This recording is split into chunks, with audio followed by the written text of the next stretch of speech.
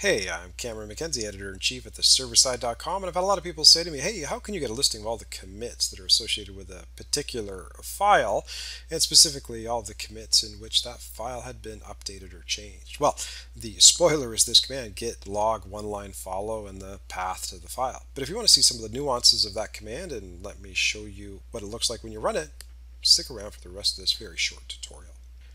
As you can see, I got a GitHub repository here, and it's cloned over here, Adam Baker Carroll, Adam Baker Carroll. Um, and what I want to do is I want to take a look at maybe the history of this carroll.html file. So I'll open up the git bash shell, and I'll do a git k carroll.html and this is actually going to open up the git GUI tool and it's actually going to show me some information about the history of that file. You can see that it's associated with three different commits here and it looks like me and Jeeves have worked on that file in the history although there's not a whole lot of interesting things that have happened there.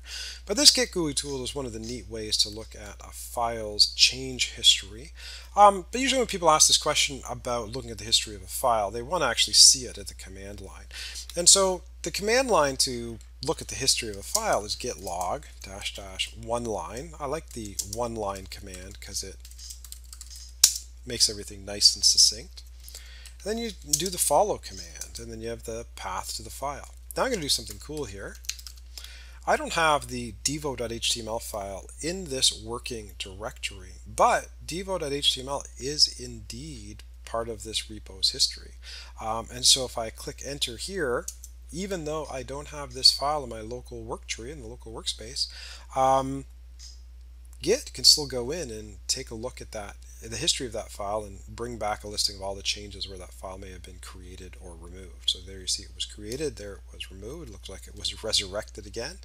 Um, but that is a listing of all of the different commits in which that devo.html file was associated. So if you ever want to see that, all the list of commits that a particular file is associated with, where it's been updated or changed, that's the command, git log one line follow.